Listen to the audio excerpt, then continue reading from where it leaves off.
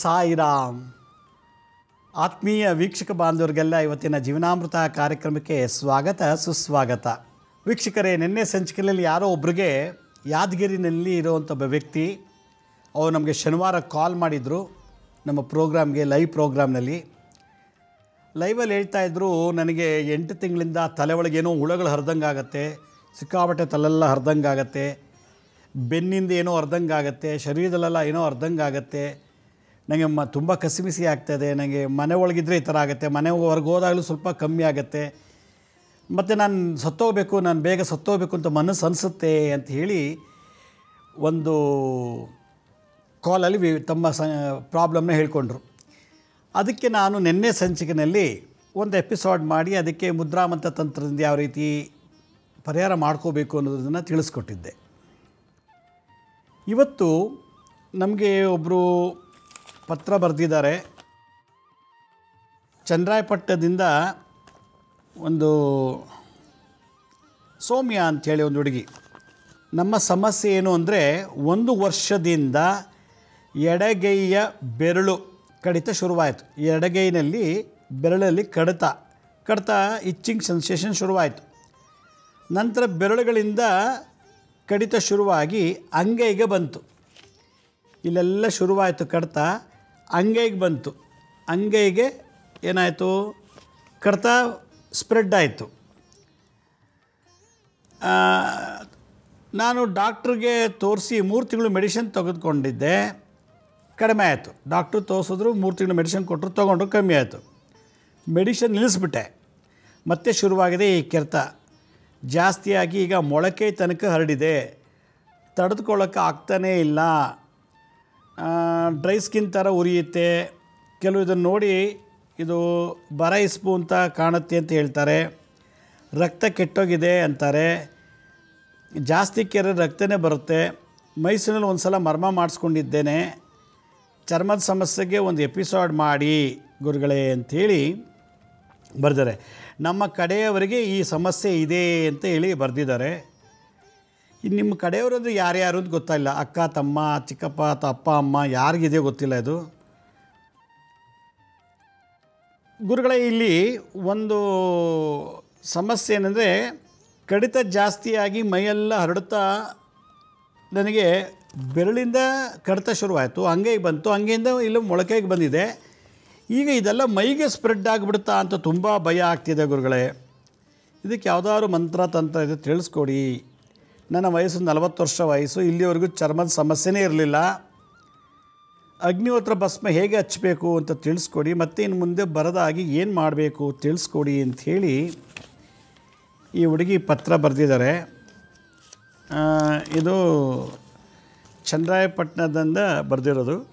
ಇದು ಒಂದು ಚರ್ಮವ್ಯಾಧಿ ಕಾಯಿಲೆ. ಸರ್ಪದೋಷಕ್ಕೆ ಸಂಬಂಧಪಟ್ಟಂಥ ಚರ್ಮವ್ಯಾಧಿ ಕಾಯಿಲೆ. ಈ ಕಾಯಿಲೆ ಈ ಥರ ಸ್ಪ್ರೆಡ್ ಆಗಬೇಕಂದ್ರೆ ನೂರು ಜನ ಜ ನಿಲ್ಲಿಸಿರೋ ಒಂದು ಕಡೆ, ನೂರು ಜನದಲ್ಲಿ ಒಂದು ಇಬ್ಬರಿಗೆ ಕಾಯಿಲೆ ಬರುತ್ತೆ. ಯಾವಾಗ ಬರುತ್ತೆ ಅಂತಂದರೆ ಮೂವತ್ತು ವರ್ಷ ದಾಟಿದ ಮೇಲೆ ಕೆಲವರಿಗೆ. ಮೂವತ್ತು ವರ್ಷ ದಾಟಿದ ಮೇಲೆ. ಕೆಲವರಿಗೆ ಅರವತ್ತು ವರ್ಷಕ್ಕೆ.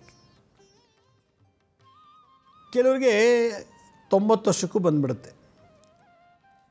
ಮೂವತ್ತು ವರ್ಷ ಅಂದರೆ ಅಷ್ಟರೊಳಗೆ ಬಾಲ್ಯಾವಸ್ಥೆ ಯೌವನಾವಸ್ಥೆ ಗೃಹಸ್ಥಾಶ್ರಮಕ್ಕೂ ಸೇರಿರ್ತಾರೆ. ಆ, ಈ ಥರ ರೋಗ ಬರೋ ಜಾತಕ. ಆದ್ದರಿಂದ ಈ ಕಾಯಿಲೆ ಡಾಕ್ಟ್ರಿಗೂ ಗೊತ್ತಾಗೋದಿಲ್ಲ ಇದು. ಮೆಡಿಷನ್ ಮೇಲೆ ನಿಂತಿರ್ತದೆ ಸ್ವಲ್ಪ ದಿನ. ಮೆಡಿಷನ್ ಸ್ಟಾಪ್ ಮಾಡಿದೆ ಮತ್ತೆ ಶುರುವಾಯಿತು ಅಂತ ಅವರೇ ಬರೆದಿದ್ದಾರೆ ಇದರಲ್ಲಿ. ಹಾಗೆ ಮೆಡಿಷನಲ್ ಪವರ್ ಇಲ್ವಾ ಅಂತ. ಮೆಡಿಷನ್ ತಾತ್ಕಾಲಿಕ. ಯಾವುದೇ ಔಷಧಿ ನಮ್ಮ ಕರ್ಮವನ್ನು ಕ್ಲೀನ್ ಮಾಡಲ್ಲ. ಒಂದು ಇಂಜೆಕ್ಷನ್ನು ಒಂದು ಟಾನಿಕ್ಕು, ಒಂದು ಟ್ಯಾಬ್ಲೆಟು ಅಥವಾ ಕ್ಯಾಪ್ಸೂಲ್ಸು, ಒಂದು ಬಾಟ್ಲು ಗ್ಲುಕೋಸು. ಇದು ನಮ್ಮ ಕರ್ಮವನ್ನು ಕ್ಲೀನ್ ಮಾಡಲ್ಲ ದೇಹದಲ್ಲಿರೋ ಡಿಫೆಕ್ಟ್ಸ್ನ ಕ್ಲೀನ್ ಮಾಡುತ್ತೆ, ತಾತ್ಕಾಲಿಕವಾಗಿ. ಮತ್ತು ಕರ್ಮನ ಕ್ಲೀನ್ ಮಾಡಬೇಕು ಅಂತಂದ್ರೆ ಏನು ಮಾಡಬೇಕು? ಕರ್ಮಕ್ಕೆ ಸಂಬಂಧಪಟ್ಟಂಥ ಪರಿಹಾರ ಮಾಡಿಕೊಂಡಾಗ ಔಷಧಿ ಇಲ್ಲದೇ ಗುಣ ಆಗೋ ಚಾನ್ಸಸ್ ಉಂಟು. ಔಷಧಿ ದೇಹಕ್ಕೆ ಆತ್ಮಕ್ಕಲ್ಲ, ಕರ್ಮಕ್ಕಲ್ಲ. ಈ ಔಷಧಿ ತಗೊಂಡೆ ಮೂರು ತಿಂಗಳು, ಅವರು ಬರೆದಿದ್ರೆ ಮೂರು ತಿಂಗಳು ನಾನು ತೊಗೊಂಡೆ, ಕಮ್ಮಿ ಆಯಿತು, ಮತ್ತೆ ನಿಲ್ಲಿಸ್ಬಿಟ್ಟೆ. ಶುರು ಕಮ್ಮಿ ಆಯ್ತಲ್ಲ ಅಂತ ನಿಲ್ಲಿಸಿದ್ದಕ್ಕೆ ಮತ್ತೆ ಶುರುವಾಗ್ಬಿಟ್ಟಿದೆ. ಈಗ ಕೆರೆತ ಜಾಸ್ತಿಯಾಗಿ ಮೊಳಕೆ ತನಕ ಹರಡಿದೆ. ತಡ್ಕೊಳೋಕ್ಕಾಗ್ತಾಯಿಲ್ಲ ಡ್ರೈ ಸ್ಕಿನ್ ಥರ ಉರಿಯುತ್ತೆ. ಇದನ್ನು ನೋಡಿದಾಗ ಇಸ್ಬು ಅಂತ ಹೇಳ್ತಾರೆ ಕೆಲವರು ಅಂತ. ಗಜ್ಜಾಕರಣ ಇಸ್ಬು ಅಂತ ಏನೇನೋ ಕರಿಬೋದು. ಆದರೆ ಈ ದೋಷ, ಈ ಕಾಯಿಲೆ ಈ ಈ ಚರ್ಮವ್ಯಾಧಿ ಯಾತಕ್ಕೆ ಬಂತು ಅಂತ ನಮಗೆ ಮೂಲ ತಿಳ್ಕೋಬೇಕು ಫಸ್ಟು ಆ ಮೂಲ ತಿಳ್ಕೊಂಡ್ರೆ ಆ ಮೂಲಕ್ಕೆ ಪರಿಹಾರ ಮಾಡಿಬಿಟ್ರೆ ಔಷಧಿಲ್ದೇ ಗುಣ ಆಗಿಬಿಡ್ತದೆ. ಆದ್ದರಿಂದ ಈ ಒಂದು ಕಾಯಿಲೆ ಇತ್ತೀಚೆಗೆ ಜಾಸ್ತಿ ಆಗ್ತಿದೆ. ಸರ್ವೇ ಸಾಮಾನ್ಯವಾಗಿ ಇದು ಹಳ್ಳಿಗಳಲ್ಲಿ ಜಾಸ್ತಿ ಕಾಣುತ್ತೆ ಇದು. ಹಳ್ಳಿ ಜನಾಂಗದವ್ರದ ಹತ್ರ, ಹಳ್ಳಿಲಿ ವಾಸ ಮಾಡೋ ಜನಾಂಗಕ್ಕೆ. ಹಳ್ಳಿ ಜನಾಂಗದಲ್ಲಿ ಹಳ್ಳಿಲಿ ವಾಸ ಮಾಡುತ್ತ ಒಂದು ಜನರ ಕಾ ಜಾಗದಲ್ಲಿ ಇದು ಹೆಚ್ಚಿಗೆ ಕಾಯಿಲೆ ಕಾಡ್ತಾ ಇದೆ. ಎರಡನೇದು ಈ ದೇವಾಲಯಗಳಲ್ಲಿ ಕೆಲವರು ಕೆಲಸ ಮಾಡ್ತಿರ್ತಾರೆ, ಕಸ ಗುಡಿಸೋದು, ಕ್ಲೀನ್ ಮಾಡೋದು ಇದೆಲ್ಲ. ಅವರಲ್ಲೂ ಕೂಡ ಇದು ಕಾ, ಕಾಡ್ತಾ ಇದೆ. ಮೂರನೇದು, ಯಾರು ಸನ್ಲೈಟ್ಗೆ ಎಕ್ಸ್ಪೋಸ್ ಆಗಲ್ವೋ, ಸೂರ್ಯನ ಬೆಳಕಿಗೆ ತಮ್ಮ ಶರೀರ ಒಡ್ಡೋದಿಲ್ವೋ ಸೂರ್ಯನ ಬೆಳಕಿಗೆ ಬರೋದೇ ಇಲ್ಲ. ಮನೇಲೇ ಕೂತಿರ್ತಾರೆ. ಬೆಳಗ್ಗೆ ಎದ್ದು ಸ್ನಾನ ಮಾಡಿ, ಅಡುಗೆ ಮ, ತಿಂಡಿ ಮಾಡಿ, ಅಡುಗೆ ಮಾಡಿ, ಸ್ವಲ್ಪ ಹೊತ್ತು ಮಲಗಿದ್ದು ಮತ್ತೆ ಎದ್ದು ಸಂಜೆ ಟೀ, ಕಾಫಿ ಮಾಡಿ, ಮತ್ತೆ ರಾತ್ರಿ ಅಡುಗೆ ಮಾಡಿ ಕಾಲ ಕಳೆದು ಬಿಡ್ತಾರೆ. ಎಲ್ಲೂ ಯಾವ್ದಾದ್ರು ಒಂದು ಮದುವೆ ಯಾವ್ದಾರು ಒಂದು ನಾಮಕರಣ ಯಾವ್ದಾರು ಒಂದು ಬರ್ತಡೇ ಅಂತ ಏನಾದರೂ ಹೋಗ್ತಾರೆ. ಅದು ಯಾವಾಗ ಬಿಸಿಲಲ್ಲಿ ಹೋಗಲ್ಲ. ಇಟ್ಕೊಂಡು ಹೋಗ್ಬೋದು, ಇಲ್ಲ ಆಟೋದಲ್ಲಿ ಹೋಗ್ಬೋದು, ಕಾರಲ್ಲಿ ಹೋಗ್ಬೋದು. ಒಟ್ಟಿನಲ್ಲಿ ಸನ್ಲೈಟೇ ಬೀಳಲ್ಲ ಶರೀರಕ್ಕೆ. ಶರೀರಕ್ಕೆ ಸೂರ್ಯನ ಬೆಳಕು ಬೀಳಬೇಕು. ಪ್ರತಿನಿತ್ಯ ಒಂದು ಅರ್ಧ ಗಂಟೆ ಆದರೂ. ಸೂರ್ಯನ ಕಿರಣದಿಂದ ನೂರಲ್ಲಿ ಎಂಬತ್ತು ಪರ್ಸೆಂಟ್ ಕಾಯಿಲೆ ಗುಣ ಮಾಡ್ಕೊಂಬಿಡ್ಬೋದು ನೂರಕ್ಕೆ ಎಂಬತ್ತು ಪರ್ಸೆಂಟು ಕಾಯಿಲೆನ ಶರೀರದಲ್ಲಿ ಗುಣ ಮಾಡ್ಕೋಬೋದು ಸೂರ್ಯನ ಬೆಳಕಿನಿಂದ. ಈ ಹುಡುಗಿ ಬಹುಶಃ ಸೂರ್ಯನ ಲೇಟ್ಗೆ ಹೋಗ್ತಾರೋ ಇಲ್ಲೋ ಗೊತ್ತಿಲ್ಲ. ಹಾಗಾದರೆ ಈ ಕಾಯಿಲೆಗೆ ಮೂಲ ಕಾರಣ ಏನು? ಮೂಲ ಕಾರಣನ ಕರ್ಮ ಏನು ಮಾಡಿದ್ದಕ್ಕೆ ಈ ಕಾಯಿಲೆ ಬಂದಿದೆ ನಮಗೆ? ಇವ್ರಿಗೆ ಅರಿವಿಲ್ಲದೆ ಕಾಯಿಲೆ ಬಂದಿದೆ. ಹೇಗೆ ಬಂದಿದೆ ಈ ಕಾಯಿಲೆ ಅನ್ನೋದಕ್ಕೆ ನಾನು ನಾಲ್ಕು ಕಾರಣಗಳನ್ನು ಕೊಡ್ತೀನಿ ಕರ್ಮ ಸಿದ್ಧಾಂತ ಪ್ರಕಾರ. ಪೂರ್ವ ಜನ್ಮದಲ್ಲಿ ಅಥವಾ ಈ ಜನ್ಮದಲ್ಲಿ ಯಾರಾದರೂ ಊಟದಲ್ಲಿ ವಿಷ ಕೊಟ್ಬಿಟ್ಟಿದ್ರೆ, ಯಾರಿಗಾದ್ರೂ ಊಟದಲ್ಲಿ ವಿಷ ಕೊಟ್ಬಿಟ್ಟಿದ್ರೆ ಆ ಕೈಗೆ ಇದು ಫಸ್ಟ್ ಹಬ್ಕೊಳ್ಳುತ್ತೆ. ಒಂದು ಎಡಗೈಲಿ ಮದ್ದು ಹಾಕಿದ್ರು ಅಂತ ಒಂದು ಪ ಇದಿದೆ. ಮದ್ದು ಹಾಕ್ಬೇಕಾದ್ರೆ ಎಡಗೈಲಿ ಹಾಕೋದು, ಬಲಗೈಲಿ ಹಾಕಲ್ಲ. ಮದ್ದು ಹಾಕೋರು ಎಡಗೈಲಿ ಹಾಕ್ಬಿಡಿ ಎಡಗೈ ಮದ್ದು ಅಂತ ಕರೀತಾರೆ. ಎಡಗೈಲಿ ಹಾಕಿದರೆ ಈ ಜಮ್ದಲ್ಲಿ ಅಥವಾ ಓದ್ ಜಮ್ದಲ್ಲಿ ಮದ್ದು ಯಾರಿಗಾರು ಊಟದಲ್ಲಿ ಹಾಕಿದರೆ ಏನಾಗುತ್ತೆ? ಶುರುವಾಗೋದೆ ಕೈಯಿಂದ. ಅವ್ರು ಏನು ಬರ್ದಿರೋದು ಬಂದು, ಬಂದಿದೆ. ನಾನು ಮದ್ದು ಹಾಕಿಲ್ಲ ಈ ಜಮ್ದಲ್ಲಿ ಎಂದು ಓದ್ ಜಮ್ದಲ್ಲಿ ಹಾಕಿದ್ದೀರಾ? ಅದಕ್ಕೆ ಪರ್, ಪ್ರತಿಫಲ. ಕರ್ಮ ಇವಾಗ ನಡೀತಾ ಇದೆ. ಒಂದು. ಎರಡನೇದು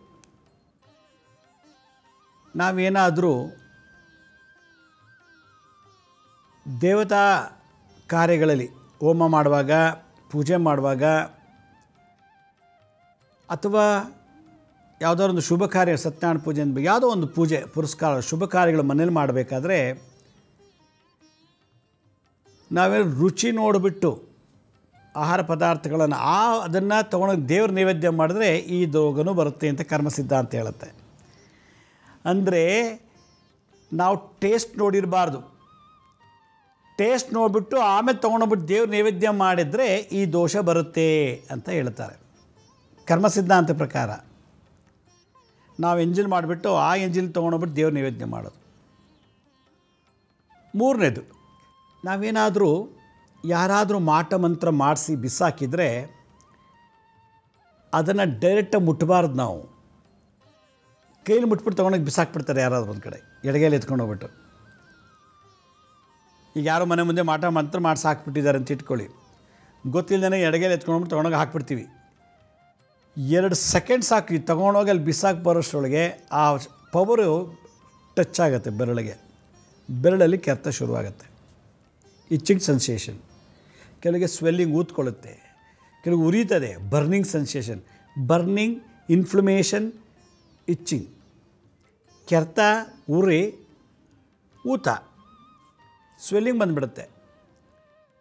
ಅದು ಏನೋ ಅಂತ ನೆಗ್ಲೆಕ್ಟ್ ಮಾಡಿಬಿಟ್ಬಿಡ್ತೀವಿ ಸ್ಪ್ರೆಡ್ ಆಗ್ತಾ ಹೋಗುತ್ತೆ. ಅದಕ್ಕೆ ಯಾರಾದರೂ ಮಾಟಮಂತ್ರ ಮಾಡೋದು ದಾಟಿಬಿಟ್ರೆ ಅಥವಾ ಎಡಗೈಯಿಂದ ಅಥವಾ ಯಾವ ಕೈ ನೀವು ಎತ್ತಾಕ್ಬಿಡ್ತೀರೋ ಆ ಕೈಗೆ ಅದು ಟಚ್ ಆಯಿತು ಅಂದರೆ ಎಫೆಕ್ಟ್ ಆಗಿಬಿಡ್ತದೆ. ಮೂರು. ನಾಲ್ಕನೇದು ಇವತ್ತಿನ ಕಾಲದಲ್ಲಿ, ಅದು ಹಳ್ಳಿ ಜನಾಂಗದಲ್ಲಿ ಹಳ್ಳಿ ವಾಸ ಮಾಡೋ ಜನಾಂಗರು ಸರ್ವೇ ಸಾಮಾನ್ಯವಾಗಿ ಯೂರಿಯಾ, ಗೊಬ್ಬರಗಳನ್ನು, ಕೆಮಿಕಲ್ಸ್ನ ಗಿಡಗಳಿಗೆ, ಗದ್ದೆಗಳಲ್ಲಿ, ಹೊಲಗಳಲ್ಲಿ ಯೂಸ್ ಮಾಡ್ತೇವೆ. ಹೊಲ ಗದ್ದೆಗಳಲ್ಲಿ ಕೆಮಿಕಲ್ಸ್ನ ಮಿಕ್ಸ್ ಮಾಡಿ ಮಾಡ್ತಿರ್ಬೇಕಾದ್ರೆ, ಕೆಲವರಿಗೆ ಅದು ಇನ್ಫೆಕ್ಷನ್ ಆಗೋದುಂಟು. ಸ್ಕಿನ್ ಎಲರ್ಜಿ ಆಗಿ ಅದೇನಾಗುತ್ತೆ? ಸ್ಪ್ರೆಡ್ ಆಗೋದುಂಟು. ಬಹುಶಃ ಈ ಹುಡುಗಿ ಆ ಕೆಲಸ ಮಾಡಿಲ್ಲ ಅಂತ ಅನಿಸುತ್ತೆ. ಜಮೀನಲ್ಲಿ ಕೆಮಿಕಲ್ಸ್ನ ಹಾಕೋದು ಮಾಡೋದೆಲ್ಲ ಇತ್ತು ಅಂದರೆ. ಇನ್ನೊಂದು ಕರ್ಮ ಸಿದ್ಧಾಂತ ಹೇಳುತ್ತೆ, ಅಪ್ಪಿತಪ್ಪಿ ಏನಾದರೂ ನಾವು ಇಲಿ ಹೆಗ್ಗಣ ಬೆಕ್ಕು, ಮಾರ್ಜಲ ಮೂಷಿಕ. ಮಾರ್ಜಲ ಅಂದರೆ ಬೆಕ್ಕು, ಮೂಷಿಕ ಅಂದರೆ ಹಿಲಿ. ಬಾಲ ಇಟ್ಕೊಂಡು ಹಿಂಗೆ ತಿರುಗಿಸಿ ಒಡಿಸಿ ಸಾಯಿಸಿದೆ. ಹಿಂಗೆ ತಿರುಗಿಸಿ ತಿರುಗಿಸಿ ಒಡೆದು ಸಾಯಿಸಿದೆ, ಅದೆಲ್ಲ ಪೂರ್ತಿ ಶರೀರ ಪೂರ್ತಿ ಅಪ್ಕೊಂಡು ಹೊಟ್ಟೋಗ್ಬಿಡುತ್ತೆ ಇನ್ನೊಂದು ವರ್ಷದೊಳಗೆಲ್ಲ. ಪ್ರಾಣಿ ಹತ್ಯ ಯಾವುದು? ಮಾರ್ಜಲ ಅಂದರೆ ಬೆಕ್ಕು, ಮೂಷಿಕ ಅಂದರೆ ಇಲಿ ಬಾಲ ಹಿಡ್ಕೊಂಡು ಅದನ್ನು ಒಡೆದು ಸಾಯಿಸಿ ಬಿಸಾಕಿದ್ರೆ ಈ ದೋಷಕ್ಕೆ ಗುರಿ ಆಗ್ತಾರೆ ಅಂತ ಕರ್ಮಸಿದ್ಧ ಅಂತ ಹೇಳುತ್ತೆ. ಇದಿಷ್ಟಲ್ಲಿ ಯಾವ್ದಾದ್ರು ಒಂದು ಆಗಿದ್ದರೆ ಈ ಕಾಯಿಲೆ ಬರೋದ್ರೆ ಬರೋಕ್ಕೆ ಸಾಧ್ಯ ಇಲ್ಲ. ಒಬ್ಬ ಮಾಡಿದ್ರೆ ಅವ್ರ ವಂಶ ಗೋತ್ರದಲ್ಲಿ ಈ ಕಾಯಿಲೆ ಬರ್ತಾ ಹೋಗ್ತೋಗುತ್ತೆ ಇವ್ರು ತಾತ ಮಾಡಿದ್ರೆ ಮಗ ಮೊಮ್ಮಕ್ಕಳಿಗೆಲ್ಲ ಬರ್ತಾ ಇರ್ತದೆ ಇದು. ಇವರ ವಂಶ ಗೋತ್ರ ಯಾರಿದ್ರು ಆ ಗೋತ್ರದವ್ರಿಗೆ ಈ ಕಾಯಿಲೆ ಬರ್ತಾ ಇರ್ತದೆ ಇದು. ಹೆಂಗೆ ಬರ್ತಂದರೆ ಈಗ ನಮ್ಮ ಅಪ್ಪ ಆಸ್ತಿ ಮಾಡಿಟ್ಟಿದ್ರು.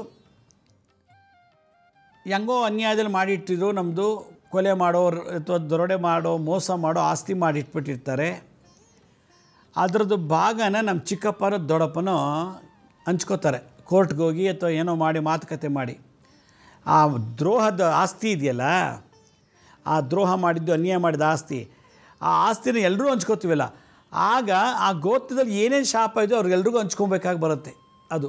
ಹೀಗೆ ಇವ್ರ ಕಡೆಯವ್ರಿಗೆಲ್ರಿಗೂ ಆ ಗೋತ್ರದಲ್ಲಿ ಯಾರ್ಯಾರಿರೋ ಚಿಕ್ಕಪ್ಪ, ದೊಡ್ಡಪ್ಪದಿರೋ ಅವ್ರಿಗೆಲ್ರಿಗೂ ಇದು ರೋಗ ಸ್ಪ್ರೆಡ್ ಆಗುತ್ತೆ. ಹೇಗೆ ಆಸ್ತಿ ಹಂಚ್ಕೋತೀವೋ ಹಾಗೆ ಪಾಪ ಶಾಪಗಳನ್ನು ಹಂಚ್ಕೊಂಬಿಡ್ತದೆ ಆಟೋಮೆಟಿಕ್ಕಾಗಿ ನಾನು ಅದಕ್ಕೆ ಹೇಳ್ತಾ ಇದ್ದೆ, ಆಸ್ತಿ ವಿಷಯದಲ್ಲಿ ಭಾಳ ಕೇರ್ಫುಲ್ ಆಗಿರಬೇಕು, ಪಾಲ್ ತೊಗೊಳ್ಳೋದಿದೆಯಲ್ಲ ಡಿವೈಡ್ ಮಾಡ್ಕೊಳ್ಳೋದಿದೆಯಲ್ಲ, ಹಂಚ್ಕೊಳ್ಳೋದಿದೆಯಲ್ಲ ಭಾಳ ಕೇರ್ಫುಲ್ ಆಗಿರಬೇಕು.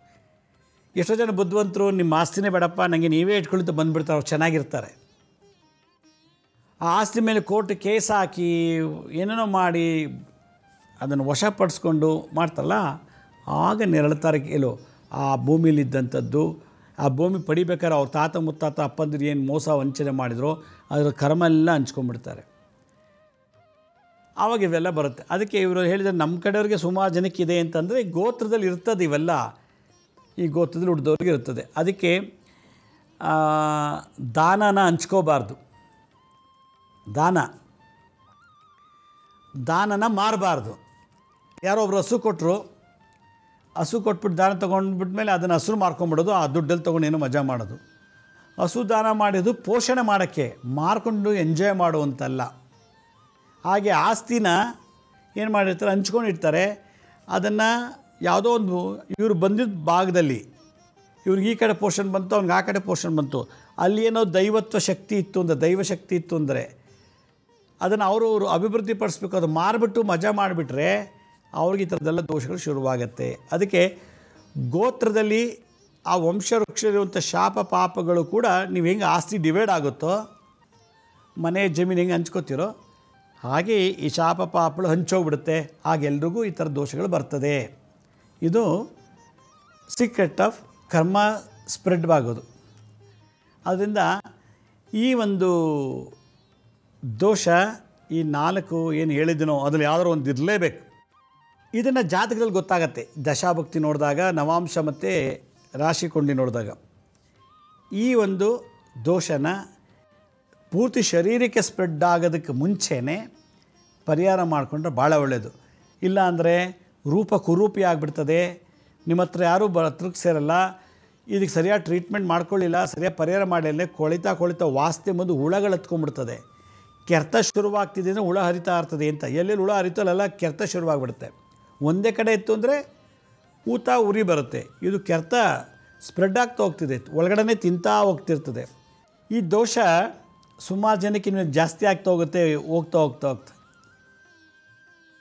ಯಾತಕ್ಕೆ ಅಂತಂದರೆ ಏಜ್ ಆಗ್ತಿದ್ದಂಗೆ ವರ್ಷಗಳು ಕಳೆದಂತೆ ಸಂವತ್ಸರಗಳು ಹೋಗ್ತಾ ಇದ್ದಂಗೆ ಪ್ಲವನಾಮ ಸಂವತ್ಸರ ಮುಗಿತಾ ಬಂತು ಈಗ. ಶುಭಕೃತ್ ಸಂವತ್ಸರ ಪ್ರಾರಂಭ ಆಗ್ತಿದೆ. ಯಾವಾಗ ವರ್ಷ, ಸಂವತ್ಸರ ವರ್ಷಗಳು ಬೆಳೀತಾ ಹೋಯಿತು ನಮ್ಮ ಏಜು ಕೂಡ ಹಾಗೆ ಬೆಳೀತಾ ಹೋಗ್ತಿರ್ತದೆ. ಹಾಗೆ ದೋಷಗಳು ಕಾಡ್ತಾ ಹೋಗುತ್ತೆ. ಈ ಒಂದು ದೋಷಕ್ಕೆ ನಮ್ಮ ಕಡೆಯಿಂದ ಒಂದು ಪೈಸಾ ಬಂಡವಾಳ ಇಲ್ದೇ ಯಾವ ಯಜ್ಞ ಯಾಗಾದಿಗಳನ್ನು ಮಾಡ್ದೇ ಸಮುದ್ರ ದಾಟಿ ಬೆಟ್ಟ ಹತ್ತಿ ಮತ್ತು ಆ ಹೋಮ, ಈ ಹೋಮ, ಆ ಪೂಜೆ, ಈ ಪೂಜೆ ಇದೆಲ್ಲ ಮಾಡಿ ಹೇಳಲ್ಲ ನಾನು. ಸಿಂಪಲ್ಲಾಗಿ ಮನೇಲೇ ಕೂತ್ಕೊಂಡು ನೀವು ಮಾಡುವಂಥದ್ದು ಏನಪ್ಪ ಅಂತಂದರೆ ನಾಗಬಂಧ ಮುದ್ರಾ ಅಂತ ಕರೀತಾರೆ. ಈ ನಾಗಬಂಧ ಅಂದರೆ ಎರಡು ಕೈನಲ್ಲೂ ಸರ್ಪದ ಹಾವಿನ ಹೆಡೆ ಥರ ಮಾಡಿಕೊಂಡು ಕ್ರಾಸ್ ಮಾಡೋದು. ಹೀಗೆ. ಹೀಗೆ. ಈಗ ತಗೊಂಡು ಹೀಗೆ ಇದಕ್ಕೆ ನಾಗಬಂಧ ಅಂತಾರೆ. ಈ ನಾಗಬಂಧ ಮುದ್ರೆಯನ್ನು ಏನು ಮಾಡಬೇಕು? ಕ್ಲೀನಾಗಿ ಒಂದಕ್ಕೊಂದು ಇಲ್ಲಿ ಈ ಮಣಿಕಟ್ಟ ಹತ್ರ ಬಣ್ಣ ಟಚ್ ಆಗಬೇಕು ಹೀಗೆ. ಮಾಡಿಬಿಟ್ಟು ಓಂ, ಹೈಂ, ಮ್ರೀಂ, ಶ್ರೀಂ, ಕ್ಲೀಂ, ಪದ್ಮಾವತಿ, ನಾಗಯಕ್ಷಿಣಿ ದೇವಿಯೈ ನಮಃ.